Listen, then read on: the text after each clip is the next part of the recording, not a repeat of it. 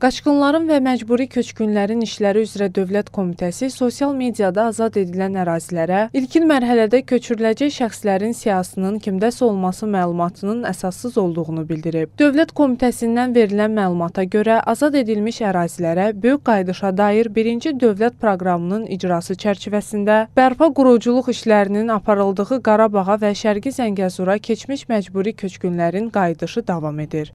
Təəssüf ki, bəzi şəxslərin sosial media hesablarında Dövlət Komitəsinin səlahiyyətlərinə aid olan məsələlər barədə həqiqətə uyğun olmayan yalan məlumatların yayılması hallarına rast gəlinir. Bu günlərdə sosial mediada bir nəfər iddia edir ki, onda işğaldan azad edilmiş ərazilərə ilkin mərhələdə köçürüləcək şəxslərin siyahısı vardır. Belə bir məlumatların məcburi köçkünlər arasında çaşqınlıq yarada biləcəyini nəzərə alaraq bir daha bildiririk ki, vətəndaşlar işğaldan azad edilmiş ərazilərdə bərpa olunan və yenidən tikilən yaşayış məntəqələrinə köçürülmə ilə bağlı bütün məsələlərə dair məlumatı qaçqınların və məcburi köçkünlərin işləri üzrə Dövlət Komitəsinə müraciət etməklə dəqiqləşdirə bilərlər. Qeyd edək ki, qayıdış prosesi ilə bağlı hər bir məlumat qaçqınların və məcburi köçkünlərin işləri üzrə Dövlət Komitəsinin rəsmi saytında operativ qaydada yerləşdirilir və sosial media hesablarında müntəzəm paylaşılır.